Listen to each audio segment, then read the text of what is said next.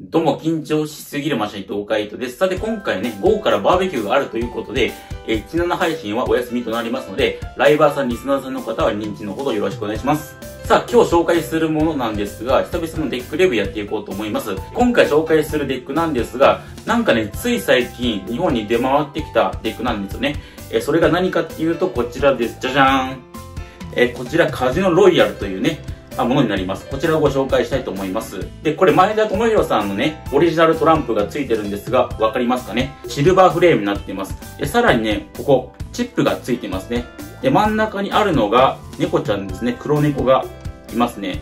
まあこういったトランプをご紹介したいと思います。これ買うとですね、まあ、4K 動画がついてくるよということで、もしね、気になった人いれば買ってみてください。ちなみにこれ、東急ハンズで買いました。確かね、これ1個、えー、1900円ちょっとかなしました。ネットとかだと、だいたいね、1万円前後で売られてる場合が大半ですので、まあ、それでもね、あの、買いたいわって方はぜひね、一度買ってみてください。裏見るとね、マジックの内容として、カジノゲーム系のカードマジックが3種類できますね。例えば、ロイヤルチップとか、えー、テンカードポーカーとか、えー、パテオ BJ とかね、そういったマジックができるよって感じになってますね。で、あと商品の内容としてさっき紹介したタリホのトランプとカジノチップですね、がついてますね。カジノチップなんですが、これね、説明を見てみると、欧州から影響を受ける以前の日本では黒猫は福猫として、魔除けや幸運などの存在とされていましたということで、まあ、非常に縁起のいい動物として扱われていたのかな。今から早速ね、ケースを取っちゃいましょうかね。はい、ケースから出すとこんな感じですね。どうでしょうか？めちゃめちゃかっこいいですよね。で、今回これね、初めてなんだけど、フレームが付いたブラックタリホフレームなしのブラックタリホまだ持ってないんだけど、またね、買ったらレビューしたいと思います。以前これね、実はレビューしているのを見たんですよ、YouTube で。あの、泉圭介さんの動画で。開封して見てみたら、フレームの部分がね、めちゃめちゃ細かったっていう印象がありましたね。まあ、僕も実際に開けてみてどんな感じなのかなっていうのを、えー、皆さんの前で分かりやすく紹介したいと思います。このチップなんだけど分かりますか？めちゃめちゃかっこいいですよね。黒白になってて、裏こんな感じね。まあ、非常にあのカジノゲームとして最適なチップですね。今回紹介するデックなんですけれども、これね、箱を見るとオハイオって書いてあるんですよね。でもシールを見るとなぜか黒になっています。この黒っていうのが KY 製の証なんですが、もしかすると箱だけがオハイオ製で、この中身がね、あの、KY 性っていう可能性もあると思うので、今から早速近くで見ていきたいと思います。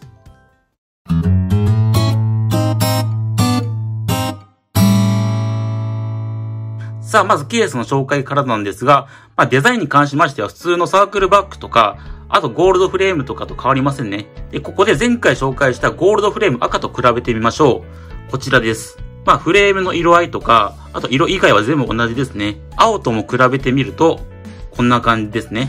この青もね、めっちゃ高級感があっていいですよね。で、横はっていうと、まあ、この辺も変わりませんね。リノイドフィニッシュメイドイン USA とあって、え、ポーカーナンバー9。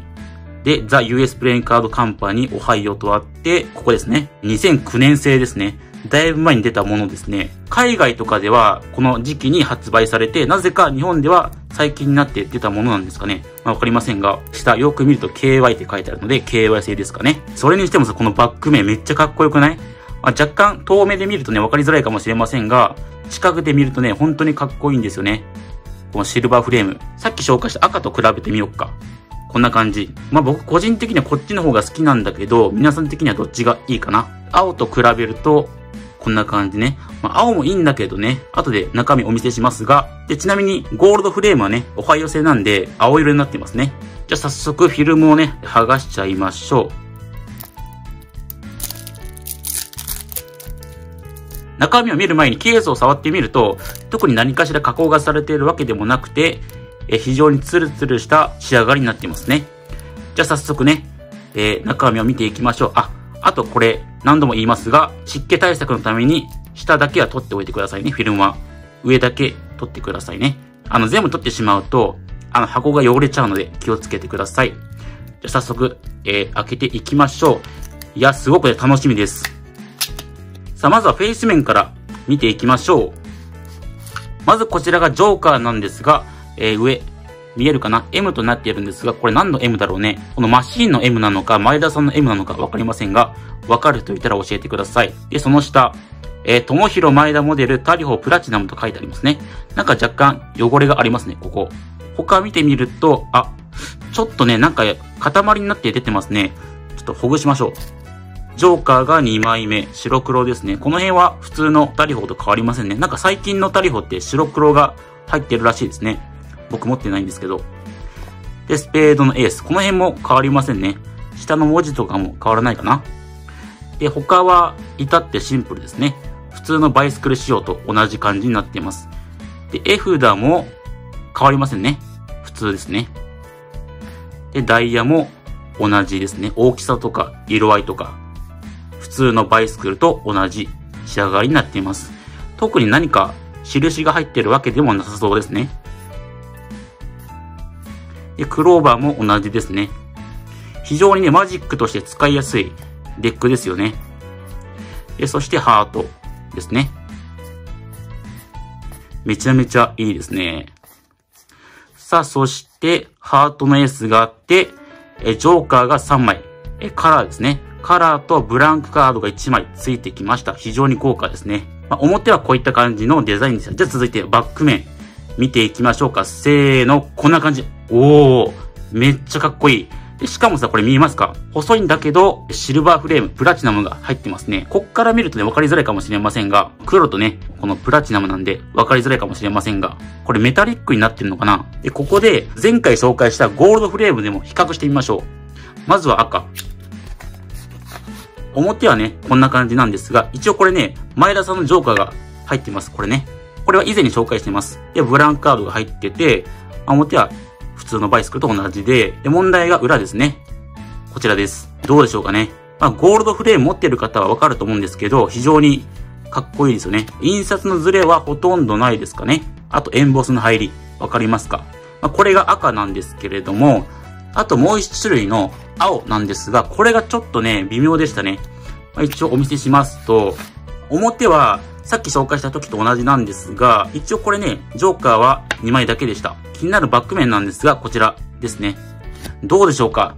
なんかね、青とこの、キツチ色っていうか、黄土色というか、合いますかね？個人的にはいいんだけど、なんか若干合わないような気がしますね。透面で見るとね、めちゃめちゃかっこいいですよね。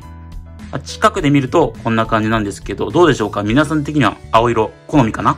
白縁の太さなんだけど、まあ、さっき紹介したゴールドフレームとあんまり変わらないかな。あくまでも個人的な意見なんだけど、まあ、皆さん的にはどう見えてるかなエンボスの入りわかりますか？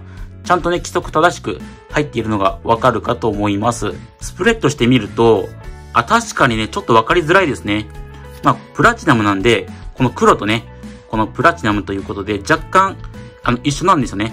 だからこうやって広げてみるとね、分かりづらいんですよね。近くで見ると、あ、入ってるなっていうのが分かるんですが、こうやって広げてみるとね、分かりづらいんですよね。もうちょっと太かったらね、分かりやすいんじゃないかなと思うんですけど、じゃあちょっとね、ファンしてみよっか。まず表向きでやると、こんな感じ。まあ、しっかり揃っているので、はっきりとね、一枚一枚のカードが分かりやすくていいですね。裏でやると、こんな感じですね。分かりますかねこのシルバーフレーム、プラチナム。まあ、近くで見ると、あ、入ってるなっていうのがわかると思うんですけど、こうやって遠目で見るとね、わかりづらいかな。そんな感じがしますね。ドリブルしてみると、めちゃめちゃやりやすい。さすがです。一枚一枚ね、本当にパラパラっていう音がたまらない。リフルシャッフルしてみましょう。この辺も問題なく行えますね。さすがです。やっぱりアメリカ製のトランプっていいですね。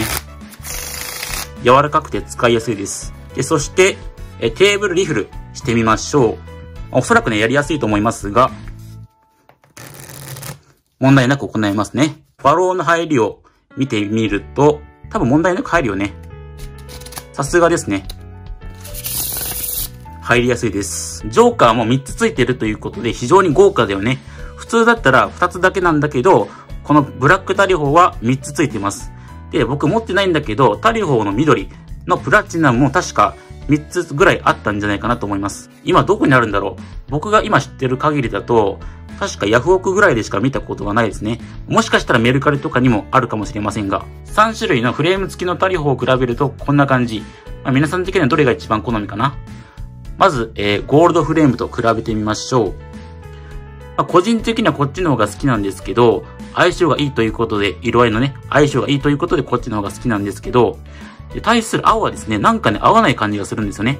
まあ、いいんだけど、青と黄土色で、なんかね、変というか、変って言ったらあれですけど、なんか合わない感じがするんですよね。まあ、あくまでも個人的な意見なんですが、皆さん的にはどっちが一番好みかな今回紹介した黒のタリホーと比べてみましょう。こちらですね。あ、ちょっとピンボケしてるわ。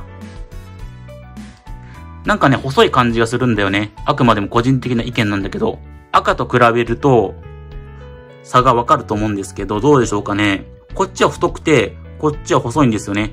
まあ、白縁の部分は変わらないと思うんですけど、こうした方がわかりやすいかな。ほら、どうでしょうか。差がちょっとでもわかると思うんですけど、皆さん的にどう見えてるでしょうか。青と比べてみるよ。こんな感じね。明らかにこっちの方が細いのがわかるかと思います。まあ、印刷のズレはね、まあ、しょうがないんですけれども、それ以外はめちゃめちゃ気に入ってます。最後に厚さを比べてみましょう。まあ、両方とも USB-C なんで同じだと思いますが、果たして、厚さは、うん、ほとんど一緒かな。厚さはほとんど一緒ですね。青でも比べてみましょう。ほとんど同じだと思いますが、果たして、うん。この辺も変わりませんね。全く同じですね。一応正面からでも比較してみましょう。まずはゴールドフレーム赤と比べてみると、厚さはほとんど同じですね。全く変わりません。青で比べてみると、厚さはほとんど変わりませんね。全く同じでした。品質もすごくいいので、本当にマジックとして使えるデックですので、もしよかったら一度ね、チェックしてみてください。ちょっと忘れてましたが、スプレッドしてみましょう。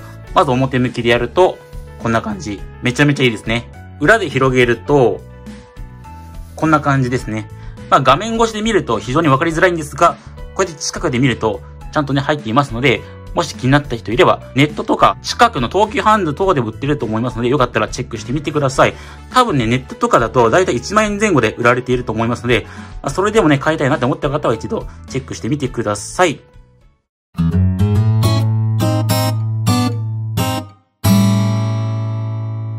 はい。ということで、今回こちら黒タリホーのプラチナも紹介しましたが、どうでしたかね？いや、すごくね、普通のサークルバックと変わらない、めちゃめちゃ質のいいデックでしたね。